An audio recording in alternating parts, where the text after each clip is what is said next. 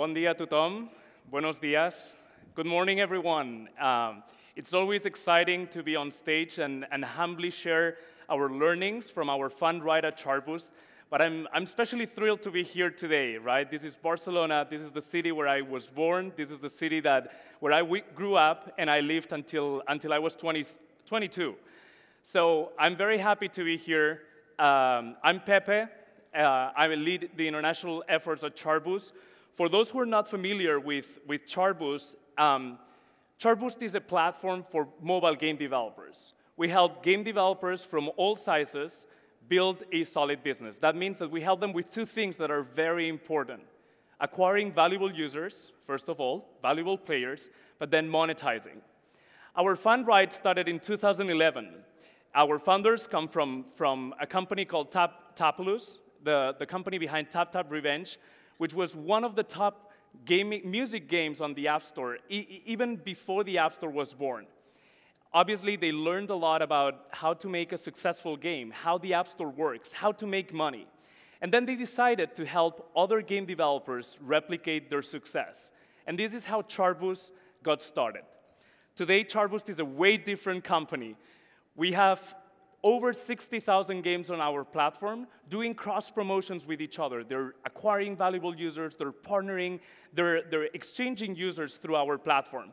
We have more than 100 people we have two offices, one in San Francisco, where we're based, and, and in Amsterdam, uh, which is our latest office to manage the European, the, European, um, the European business. And then we were very happy to announce our partnership with Sequoia in the beginning of last year. Obviously, that, that meant for us that we're a company to stay. We're a solid company that will help all business, uh, all, all game developers build successful businesses. So I wanted to ask the audience what happened on July 10th, 2008? Who knows what happens that day? Anyone? See some faces here that are smiling. So that day, the App Store was launched, the iOS App Store. We had iPhones, but we didn't have an App Store. That obviously changed dramatically the way developers built their creations and distributed their creations. Suddenly, we had millions of iPhones available for us, entrepreneurs, to just promote our content, to reach our uh, users. But for me, the most, the most important change that, that that caused, that that generated, was that everyone and from anywhere could build a global business. But that's challenging, especially when you're starting. Reaching the world is it's very, very challenging. So my goal for this presentation is to go through 10 things that I've learned about building global businesses. So there's only 10 points. If hopefully it doesn't get too boring, but if you're bored, at least you will know how much is missing. So number one, number one starts with you. You need to internationalize yourself. You need to become global. When I talk to entrepreneurs, I see a lot of passion, but sometimes I see that the reach is just very local. And that means traveling. That means speaking English at your office. Even if you're in Spain, in Barcelona, with just Spaniards around you, speak English because that's the language that the world speaks. In my, in my case, I was very proud to have my parents who actually pushed me outside the country, just learn French, learned English, learned German at some point. And I was lucky to be born in one of the best cities in the world, Barcelona, where we're now. But I knew that this is not the only place. I had to travel outside. I had to discover new horizons. So I studied in Zurich uh, at the ETH. That opened a new horizon for me. I also worked at Hilti in Liechtenstein, in this tiny country in the middle of the Alps. And then five years ago, I decided to go with my girlfriend, who now, now is my wife, to San Francisco, where I wanted to learn from peer entrepreneurs. I wanted to get inspired by all these people that are thinking big and making their creations come true. So first point, internationalize yourself. Become a global entrepreneur. Number two is be aware of your global impact. Mobile is global by nature. We have an app store that reaches every country in the world, almost every country in the world. So just be aware of where your users are. Chartboost was born in, at the Pier 38 in San Francisco. It's a very inspiring space that unfortunately is not there anymore. It was just a desk. Sean and Maria were founders, and the initial team started knocking on the wall, and uh, sorry, on the door of a lot of game developers, just selling their story, selling their vision, selling, in, in, transmitting their passion. And we realized immediately that our early adopters were these apps, Fluik, these companies, Fluik, Neonplay, Kiloo, IMS, and they were not from San Francisco. They were from Canada, UK, Denmark, Greece. It's a global industry, and you need to find ways to reach them. Today, the scene is even, even worse or even more exciting. This is, this is actually the number of logins that, that we were having when I created this presentation. These are my users. These are the people that are impacted by my product. I need to be aware of where they are, how are they using my product, and I need to establish communication channels with them. Very important. Understand how to convey a message that reaches all these people from anywhere. And that takes me to the next point because while you're aware of your global impact, you need to stay local. And staying local for us has been very important since the beginning. We established very solid partnerships with our developers. We do workshops. This is actually from Devsisters in Korea, one of our early adopters in that country. We do workshops where we just sit down with them, we share experiences, we just teach how to use our product and how can they benefit from the solution we're providing them. So whatever your industry is, if you're in mobile, be aware that you need to shake hands. You need to go to their offices. You need to share their problems. You need to get product feedback. And this is also the reason why last year we decided to establish an office in Amsterdam. We wanted to be closer to our European developers. Europe for us is very important. And we wanted to be accessible. We wanted to offer them a better service, better, support, better account management. And this is why we decided to go to Amsterdam, which is a very interesting hub in Europe that very well communicated with San Francisco and with the rest of the European region. Stay local. Number four is, especially when you grow, you want to make sure that as you build offices, you have one team, and more importantly, one culture. Obviously, things are done differently in every country. Um, our Amsterdam office doesn't work exactly the same as the San Francisco office. It's smaller, dynamics are different, but it's one team, one culture. When we decided to go to Amsterdam, we had already a pretty solid team in San Francisco. We had obviously a, a very well-structured engineering team. We had product management. The business team was very organized as well. We had marketing, support, biz dev, account management. And then we decided to go to Amsterdam and replicate some of the functions, biz dev, support, and account management especially. Obviously, there are a lot of parallel events, a lot of parallel processes, but we need to make sure that there's always a sync. I didn't know how many decisions were made on the hallways in the San Francisco office. And you need to document all that. Otherwise, the disconnect between the two teams is just tremendous, and you need to avoid that. Today, luckily, we have, we have very cool tools. I don't want to promote anyone specifically, but these are some of the tools that startups have accessible today to foster that connection between, between teams. We use Atlassian, they have Jira for tickets, um, they have Confluence for documentation. Obviously, we use Salesforce as a CRM, great tool to make sure that everyone on the business team is on the same page. And we also have Zendesk for support tickets. Amazing tools. Some of them are even not that pricey, so, so they're very accessible for startups to make sure that everyone in the team is on the same page. But also, um, I, was I was telling you about the cultural aspect, very important. Make sure that you have common values. We never thought about what our values were and, until we actually grew so much that we wanted to make sure that there was something core in our team that actually uh, identified everyone at Chartboost we talk about transparency, about getting shit done, that, that action of making things happen. You need to make sure that everyone you hire have these common teams, no matter where they are. Common values is very important. Weekly things, I don't need to tell you too much about this, but as I said, there are a lot of decisions that are made just by walking and talking to, to your peers uh, at the office. You need to make sure that they're documented and that they, they, they're uh, weekly syncs.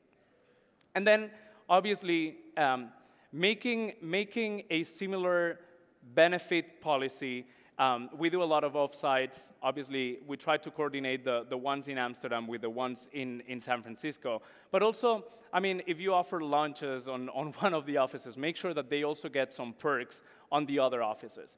That also creates a culture. I learned a lot about hiring in Silicon Valley, where, where the talent is actually very, uh, it's, uh, it's very hard to get. And obviously, you need to sell your company culture. And benefits and perks are part of your company cultures, the outings, the, the lunches, the, the possibility to work from home. All this creates also your, your company culture. And then it also creates your brand. Number five, turn your clients into ambassadors. That's been the most, that's been the key of our success actually at Chartboost. And for me, it has two, two ingredients. The first one is always providing a very high class service. Emails, track how long does it take you to answer emails. It's very important. If people send, uh, if someone sends you an email asking for something, that means that they're thinking about you. If you can answer immediately, the level of satisfaction will increase tremendously. Make sure that you answer always very fast. So the, the, the, the response, the service. But it also means um, I like a term that uh, we're talking a lot about, about it in Silicon Valley, which is the growth hacking. There are components of your platform, of your product, that actually enable that becoming, uh, that, that becoming an ambassador of the product. There, there, are those components that make the platform scalable. In our case, is the, the ability to do direct deals. We have the, the social kind of social network where you see some of the most popular games, and companies can just reach out to each other they can partner and exchange. We even have a messaging, a messaging tool. That for us was fantastic for growth because it, it's way more powerful to have a developer reaching out to another developer and say, hey, do you want to buy, sell, or exchange users with me? We use Chartboost to do that because it's the most reliable tool. It's always the client who reaches out another client uh, the most powerful tool, way more powerful than the, than the best salesman that you can have. So just create that love for your product. Make sure that your clients, your partners, become actual ambassadors of the platform. Because in the end, there's nothing stronger than a referral. The number six is about building a brand. And obviously, when you're starting, you have a lot of, uh, you have a lot of challenges, right? You're lacking out of budget.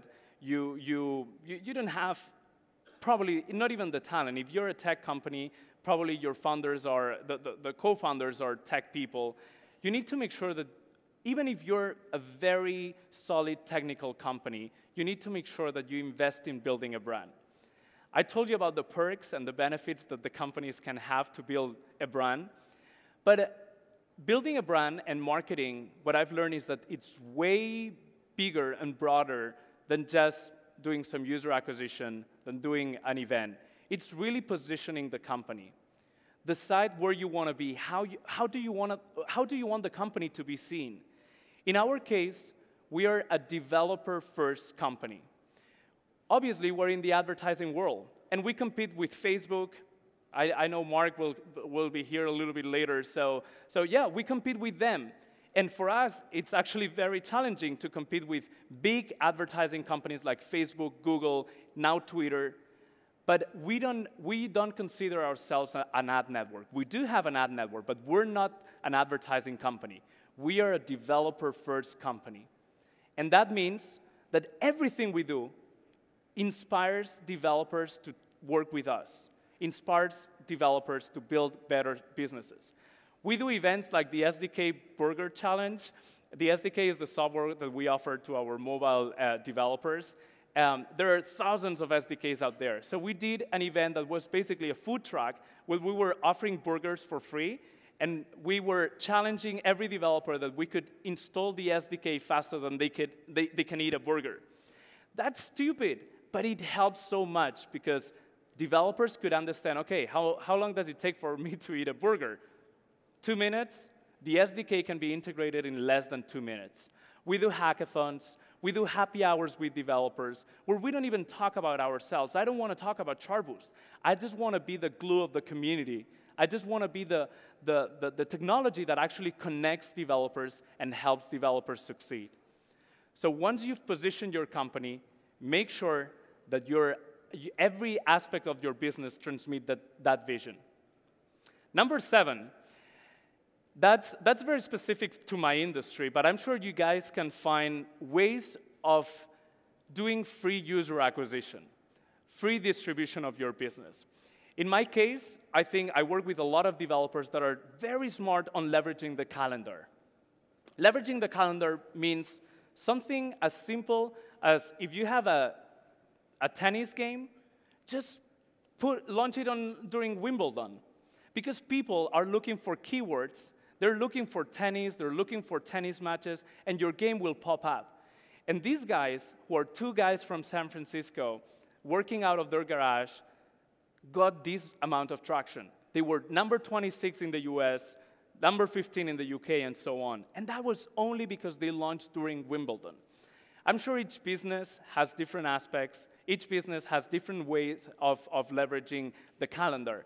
But the good thing is that the calendar is global as well. Understand what is important in, in each region. We have many holidays during the day, uh, sorry, the, during the year. Make sure that you have things for Christmas. You adapt your game for Christmas. You have a, a, a theme for, for all these uh, uh, holidays, Halloween, Valentine's Day. You have Chinese New Year's. Our traffic increases 20% in China during Chinese New Year's. And this is free. It's just, it's just a holiday. Let's just make sure that all the Chinese developers know that there are users out there playing their games. So leverage the calendar. It's free, and it's very powerful. Number eight, I don't need to convince you. Probably you're here because you believe in mobile. It's a now industry. We're not talking about the future. We're talking about now. In the case of games, I mean, I, I brought some numbers to you, but I mean, I don't need to convince you. Two billion mobile handsets were, were actually sold last year. We have over a million apps on the App Store, on both apps, uh, on the iOS App Store, but also on Google Play. It's tremendous. The app revenue increased 62% last year. Just get out there, get part of these revenues. 43% of the downloads were actually games. This is the most important category in the, in the App Store. And 75% of the money spent on apps was actually spent on games. These are the sources, but uh, again, I don't need to convince you. It's a now industry. Don't waste your time, just launch it now. Choose your moment and jump. That's my, my, my learning is that there's never a good moment to start your business. We always have excuses. It's like having a kid. There's never a good moment to have a kid. Yeah, expectations are high. You, you want to make sure that your business model is there, that you have a product that is solid. Just jump. We're in an industry that allows iteration. Launch it, test, listen, and then iterate. But jump now. And I wanted to bring you some examples. Some of the most popular games today were actually started by two guys, by one guy. Actually, Imangi, the developers of Temple Run, it's just a, it's a, it's a married couple from, from Washington. He Tennis, I told you about that tennis game. Two guys from San Francisco. Nimblebit, um, it's a company from, from San Diego. It's two brothers. And they have a global impact today. And that's because they believe they had a good product, but they've iterated. They just jumped and they, they made sure that they were listening to their, to their clients, to their users. So jump because there's never a good moment to do it. Just do it now. And my last piece of advice is always have fun. Being a global entrepreneur is not sexy as a job. It means waking up very early to have calls with Europe. This is my life, every day talking to Europe in the morning. It means tons of meetings during the day in San Francisco. And then when I'm only thinking about going home, Asia is waking up, and I need to jump on calls to, to, to, to my, with my Asian partners. Being a global entrepreneur is not sexy. So the least thing you can do is hire people that you admire, hire, hire people that you actually enjoy working with. And this is something we have very deep in our company. We always have fun. We have fun between us, and we have fun with our partners. This is a party that we did last year, sorry, last week in, in Amsterdam. And these are, this is the Rovio guys just having fun with us because it's fun what we need to, to, to have in order to be successful and to spend so many hours working on our vision. So this is it for today. Hopefully, uh, I've given you some, some good insights. I'll be around the, the rest of the morning, and if you have any specific questions, I'd love to take them. Thank you so much.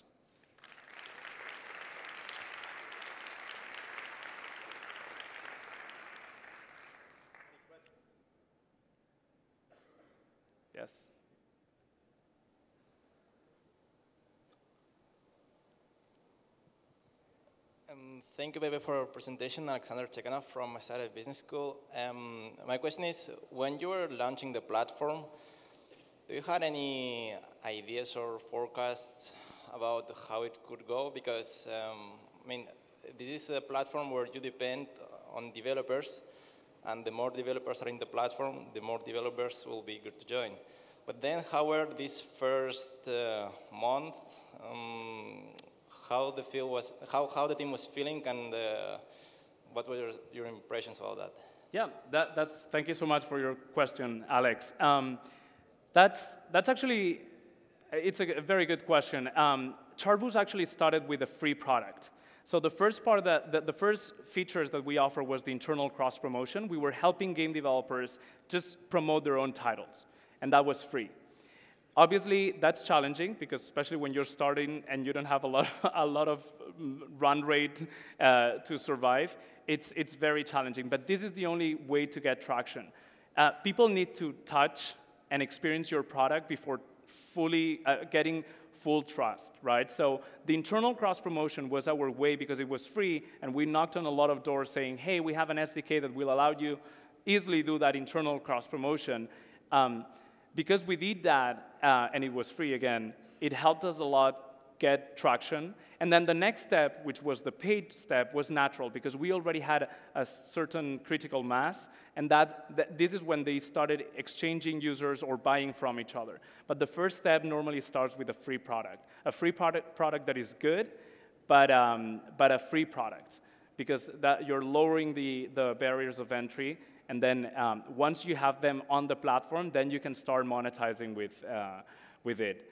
But um, I mean, we've seen a lot of companies being tremendously evaluated uh, with a free product, right? So, so actually, there's ways to survive. In our case, we didn't have much savings, so we had to find the monetization uh, path pretty easily, pretty fast, sorry.